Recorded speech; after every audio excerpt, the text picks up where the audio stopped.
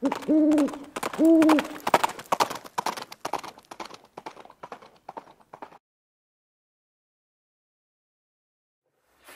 guys, it's Viejo here, and it is the beginning of the second week of January in 2024.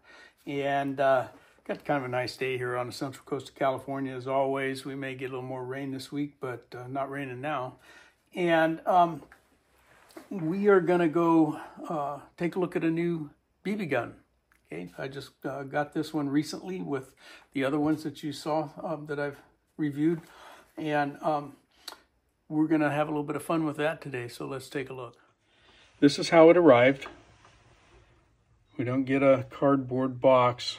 Okay, it arrived instead in this plastic blister pack, which kind of wish we had a cardboard box, but I've got another solution for that, as we will see momentarily. Okay. Remington 1875 replica single action BB slash pellet revolver.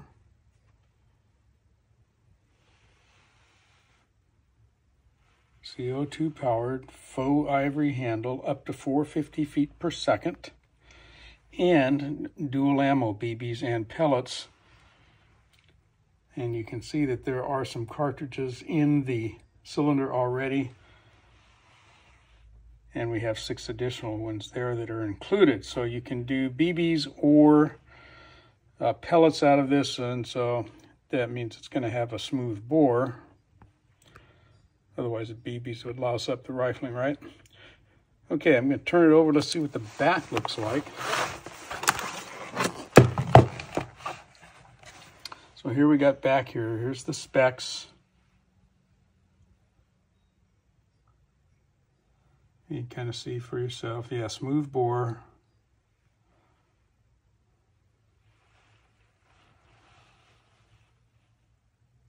Two sets of cartridges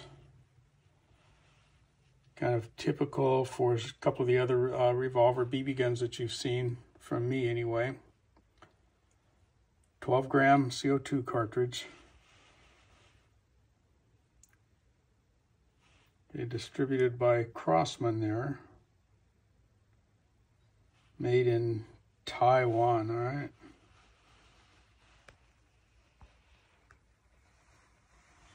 And we've got a nice warranty for a year. All right, let's get it out of this uh, blister pack, take a closer look. In the package then is the revolver itself, 12 cartridges. These are the six BBs. These are the six uh, pellets, and they are essentially identical. Let me show you. The pellet and BB cartridges look essentially the same except for one small detail.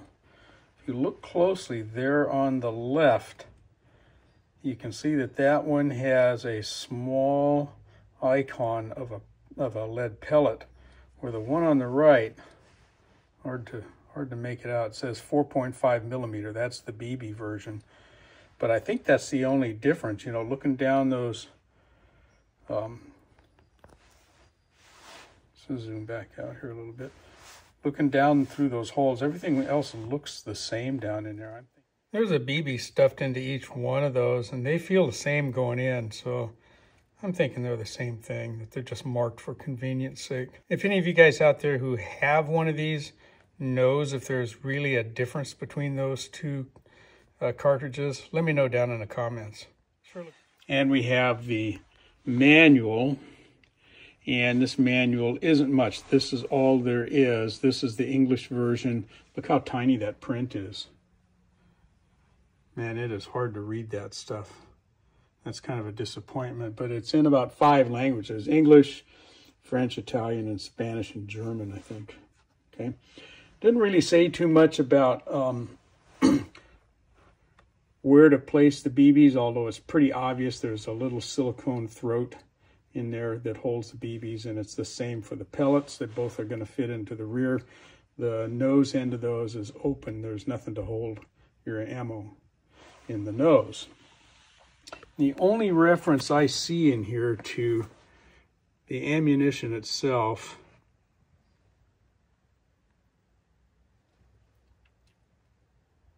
is right here. Ensure the ammunition is flush with the bottom of the cartridge. It's the only place I see anything that tells you where to insert your um, BB or pellet. It goes in the back side of that cartridge. There's a big uh, section here on uh, dealing with the CO2 cartridge. We'll get into that here in a minute. Okay. And we got a parts diagram, bunch of safety information. I got a kick out of one part. Let's see if I can find it. Yeah, right here where it says note. The cylinder is the round metal portion of the air gun with holes. like you, I guess if you didn't know anything about a firearm at all, you wouldn't know about this BB gun either. All right, all right let's take a look around here. Okay. 1875.177 or four and a half millimeter BB. Okay. Remington and somewhere over on that insert it said says that Remington, you know, registered trademark and all that good stuff. Okay, the other side. Okay, a couple of safety warnings there before use. Read the manual. Yeah, if you got a magnifying glass, you can read it. And official licensee of Remington made in Taiwan. All right. We do have a safety on the bottom. Okay. You can't operate the hammer with the safety in place. It's kind of a stiff safety. Okay, but as you can see, the cylinder does rotate. We'll check that trigger pull here in a minute. Loading gate is functional. Okay, at our half cock, let's see. Our ejector should, yep, our ejector functions. You can see it coming out of there. So that's nice. There is a base pin screw there that's actually pokes in and out. I doubt that that's going to let me get that cylinder out of there, though. It might. We'll find out here in a minute. Okay, in the handle, okay, is where our CO2 cylinder goes, and there's just like a little thumb slot there. Get your fingernail under there and lift that up. So let's do that and get that grip side so with this one, we actually do get a little bit of a kind of a stubby Allen wrench there to operate the seat screw here that sets our CO2 cylinder inside. Okay, and gets up there and pierces the top. So we'll be doing that here in a minute, but not right at this second. We're not ready yet. With this particular model, the cylinder actually is removable and it's going to come out just like the original version does. So if we open the side gate, come out here to half cock, depress that pin, and pull our base pin all the way out. And this guy comes right out like that, okay? I'm not sure why we would necessarily want to do that unless we wanted to push a, a um, cleaning patch or something through there. But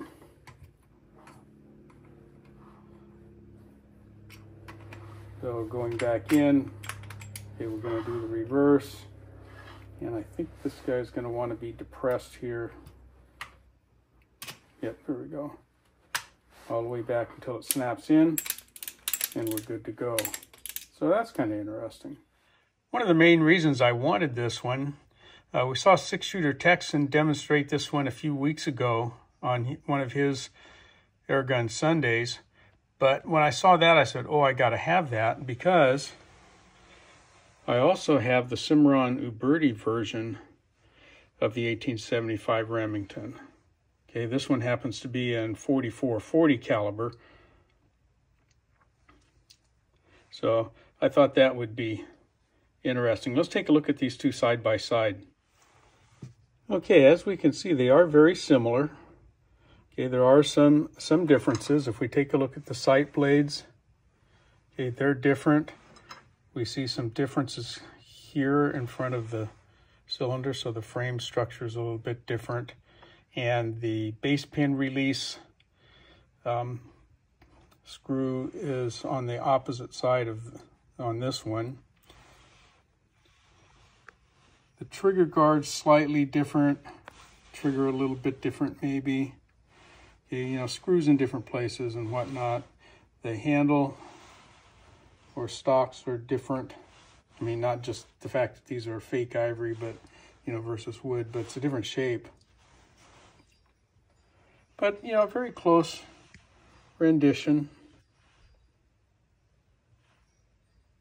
All right, here we are on the tactical air gun scale. And we are right at two pounds, four ounces. And just for comparison's sake, my Cimarron Uberti version is at about uh, two pounds,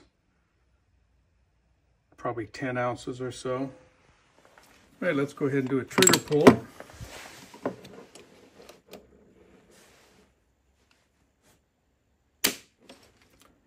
just a shade over five pounds. Do it once more.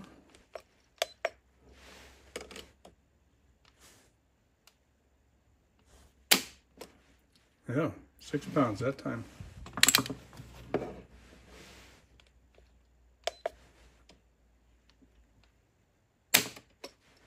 Five seven, five pounds seven ounces, so somewhere between five and a half and six pounds, I would say. Yeah, and it's probably worthwhile comparing it to the Uberti. We'll first show clear on this guy. Okay. Firearm is clear and safe. So we'll go ahead and cock it. And let's do a quick trigger pull on this one.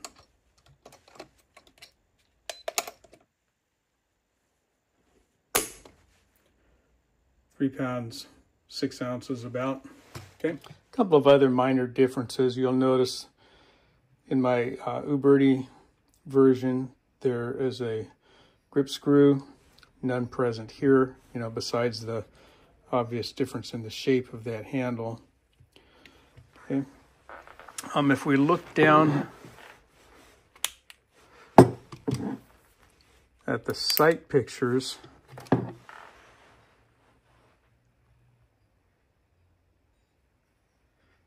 I don't know if you're going to be able to see these simultaneously, but they are very similar. Okay, even though that front sight blade is different, but what we see from the rear is effectively the same thing.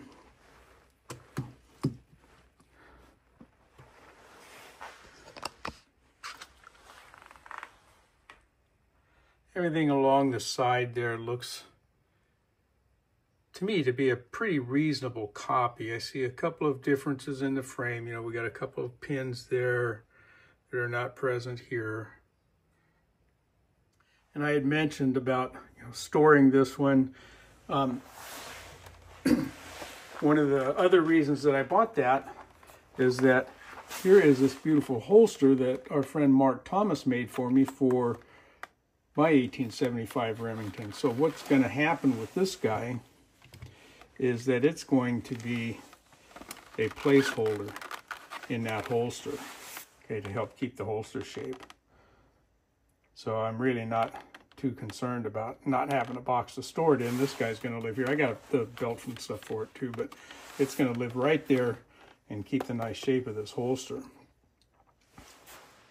All right, then we'll go ahead and get a CO2 cartridge in here. We'll put our drop of air gun oil there on top of the cylinder.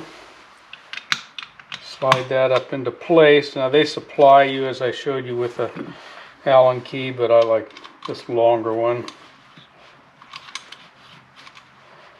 Okay. And if they're reasonably snug, that's got to be tight enough. And let's double check and be sure that we have a seal in there. Yep, good to go. Okay, so we'll put some BBs into the cartridges and we'll go ahead and give it a try. Okay, so our cartridges are all in here at the moment. Back to half cock. You can use the ejector rod, but these guys just slide right out of it very easily. And then per our instructions, our BBs just go into the back. And these are the BB cartridges labeled with the 4.5.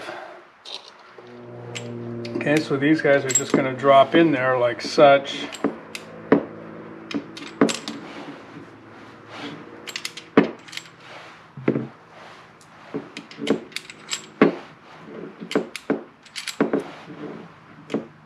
Okay, there we go, six, six loaded.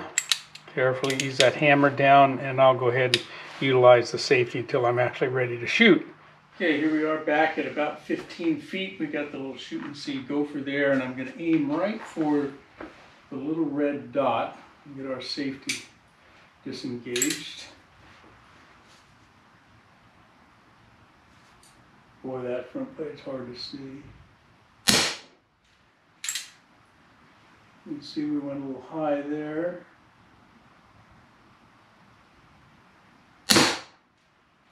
A little to the right.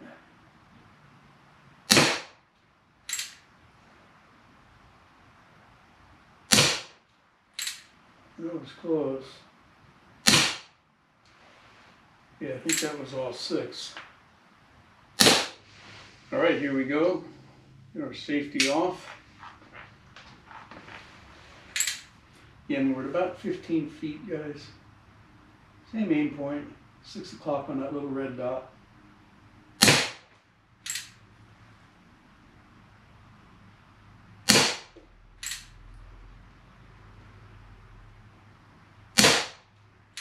Oops. That was me.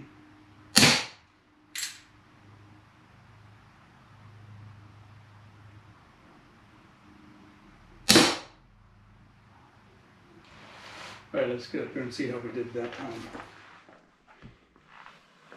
Okay, we're still, you know, I got another one over here and I popped one down there. Yeah, not too bad a shooter. All right. Okay, there we go. I put 60 rounds through there and still very little, um, if any, felt reduction in the gas pressure, but I'm going to go ahead and stop there and pull the cylinder out. Um, but, you know, we start dialing them all in there. Fun, fun shooter. All right, guys, there you go. Uh, another edition of Viejo's version of Airgun Sunday. I had a lot of fun with this one. Uh, kind of as a side note, after I got done shooting those 60 um, BBs through there, uh, I went ahead and took the CO2 cylinder out. And there's still quite a bit of pressure in there. I'm thinking I could have got another 20 or 30 shots out of that. So um, it, it's not real uh, expensive as far as the CO2 uh, usage goes. But anyway, hey, it, it's fun, shoots good. Okay, just like all the rest of them, you know, good good trigger time practice, a lot of fun in the garage. Don't have to get out in the car and go anyplace. It's right there. So I hope you enjoyed that. Um, I think that'll do it for now. So from the Viejo bench, for now, that's all she wrote.